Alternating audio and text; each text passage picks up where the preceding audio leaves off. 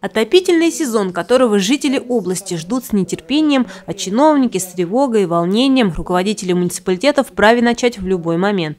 Главное, чтобы к пуску тепла в дома и учреждения все было готово. На протяжении лета по всей области велись подготовительные работы. Из 455 источников теплоснабжения, обеспечивающих тепловой энергией жилищный фонд и объекты социальной сферы, подготовлены 440 котельных, что составляет 98% от общего количества. Выполнен текущий капитальный ремонт 480 котлов, а также 856 единиц вспомогательного оборудования.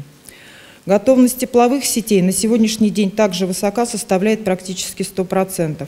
Ответ на главный вопрос, когда же батареи станут горячими, конкретики пока не имеет. Норматив остается прежним, если среднесуточные значения не будут превышать температуру плюс 8 градусов на протяжении пяти дней подряд. Будем смотреть по погодным условиям. Но сегодня у муниципалитетов есть право на свое усмотрение определять сроки начала, поэтому по мере готовности, я думаю, муниципалитеты примут это решение.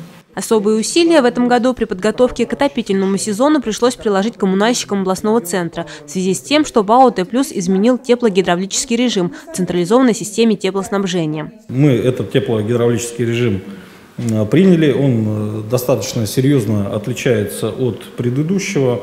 Э, согласование данного режима повлекло за собой необходимость перерегулировки порядка 70% потребителей.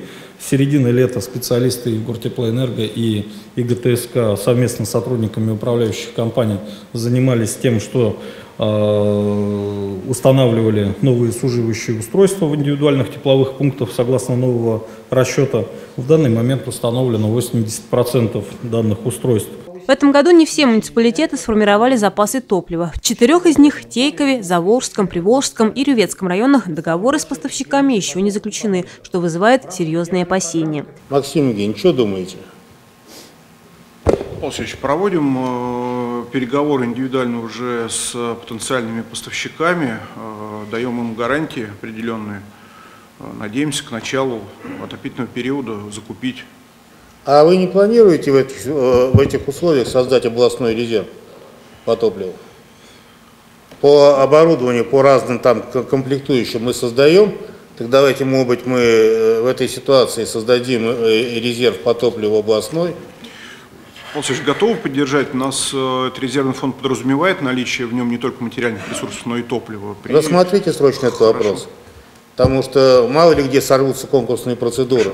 Еще одна проблема – большая задолженность перед поставщиками коммунальных ресурсов. На данный момент она составляет 805 миллионов рублей. Большая часть суммы – долги за природный газ, каменный уголь и топочный мазут. Особое влияние в этом году финансовым у нас на структуру задолженности оказали также долги организаций, э, финансируемых из федерального бюджета. Это объекты Министерства обороны и Федеральной службы исполнения наказаний. На сегодняшний день их задолженность составляет более 50 миллионов рублей. Глава региона потребовал оперативно решать проблемы и рекомендовал не затягивать начало отопительного сезона, по крайней мере в учреждениях социальной сферы. Любовь Почерникова, Антон Осипов, РТВ Иванова.